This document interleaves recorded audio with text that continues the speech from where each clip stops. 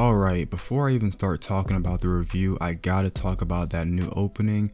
That new opening literally spoiled like most of the manga, like I think like up to like chapter 55 but there's a lot of things in that new opening which they showed which a lot of people I'm not gonna say it because it's obviously an anime review and there was something in the opening where a lot of people were confusing it with like a Byakugan or a Jogan. It looks like it's a Byakugan clearly and I just feel like in some of the manga chapters with the covers it showed it was a Byakugan too but I guess we'll just wait and see. Not gonna say much besides that, but the opening was pretty fire. I'm glad that they're kind of doing that. Yeah, I'm like, damn. I be trying to like avoid spoilers sometimes in like the titles, but these openings just be full out just spoiling. But hey, at least they cover it up with the, the black silhouettes. So let's just go ahead and just jump into the review and talk about this week's episode. So this week's episode had some fighting in it. This is sort of leading up to the main episode, which I believe is going to be episode 208. And in this episode, pretty much Boro and Team 7 meet for the first time and Boro is there to retrieve Naruto's case or whatever ramen bowl thing he's in.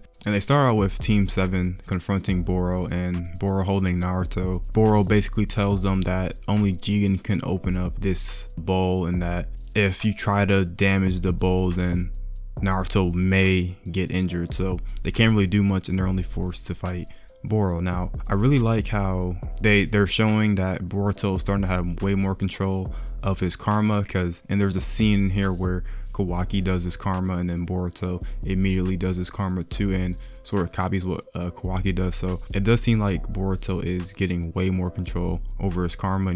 And sort of in the beginning of this fight, I noticed that Team 7 was a lot more they just sort of rushed in. They weren't working as a team because Boruto and Kawaki just flat out rushed Boro, which is pretty stupid, of course, and they don't really think about what to do. And this sort of causes them to get caught by Boro's dark mist, which is basically a virus that he produces with his body, which gets made by a scientific ninja tool. And really the only way that they're able to stop this mist is from Mitsuki making a antibody for the virus by getting a bite on Boro and being able to produce the resistances for it. So really if they didn't have Mitsuki here, then they would have they would have got mollywopped because that virus would have paralyzed them and they wouldn't have been able to do anything though. But it is very interesting because of like how heightened their emotions are during this fight. Just like they sort of just rushed in together, but they have to sort of come back in and just regroup as a team and sort of figure out what they're gonna do because that's very uncharacteristic from you know Boruto to just kind of rush in there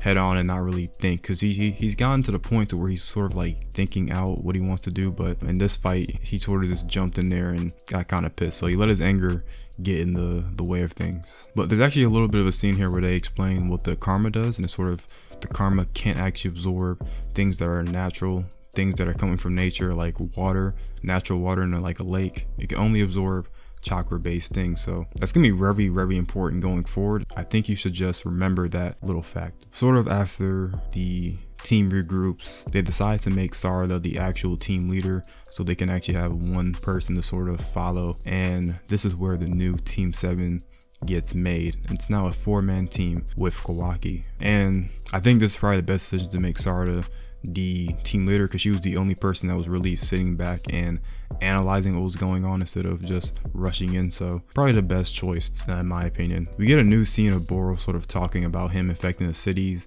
and him sort of ranting about how he's convincing people to think he's a savior and man this dude just sounds he just sounds crazy but a nice little addition was not in the manga and just sort of reinforcing Boro's personality and sort of the characteristics they've been showing in the past couple of uh, episodes. So yeah, so Sarada and Boro actually start fighting and she gets trapped by the virus and Boro catches her by the neck. And man this is like one of my favorite Sarada moments like as Sarada being like one of my favorite characters. I like the way she outmaneuvered Boro in order for Kawaki and Boruto to get an opening and do that Unison Rasengan and that Unison Rasengan was powerful. It literally knocked off Boro's top of his body. After they do that Unison Rasengan, Boro actually regenerates and we're going to learn soon why that is and how to really counter that. But yeah, this episode was pretty good. Still sort of setting up for this next episode, which is going to be a lot more action packed now that they're sort of working together in a team instead of just, you know, rushing head on.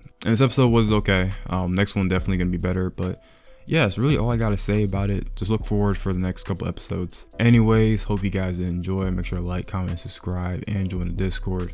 and I'm out. Peace.